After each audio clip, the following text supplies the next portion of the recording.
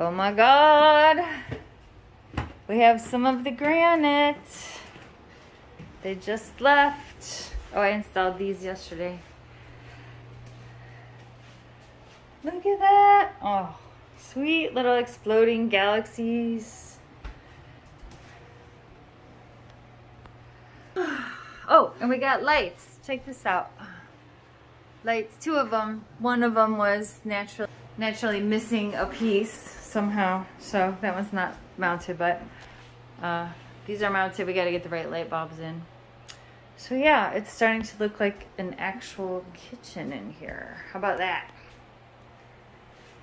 We are going for a walk and then probably a lot of staging. There's been a lot of dudes in this house today. it's a lot. Everybody have a great day.